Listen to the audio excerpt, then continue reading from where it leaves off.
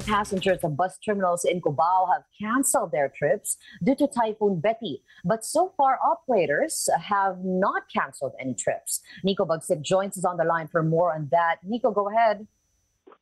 Good morning, Rika. The bus terminals here in Cubao, Quezon City did not cancel their trips to provinces north of Luzon and other areas which are being affected by Typhoon Betty. In fact, the terminal masters noticed fewer passengers today compared to other days where there are no typhoon in the country. Instead of the bus uh, canceled due to inclement weather on various routes, one terminal master said the threat of Typhoon Betty in to cancel or rebook their trip. This is to avoid inconvenience on the road brought by the typhoon.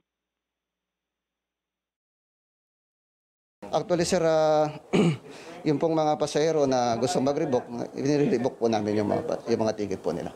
Kami po dito sa Metro Manila, ay nakikipag-coordinate po kami at yung coordination po namin sa mga division inspector sa mga region, region 1, 2, and 3. The terminal masters of the bus terminals here in Cuba also said they are coordinating continuously with their teams on various bus stops located on areas affected by the typhoon so they can take safer altern- alternate routes. Rika, back to you. Thank you so much. That was Nico Bagsip reporting live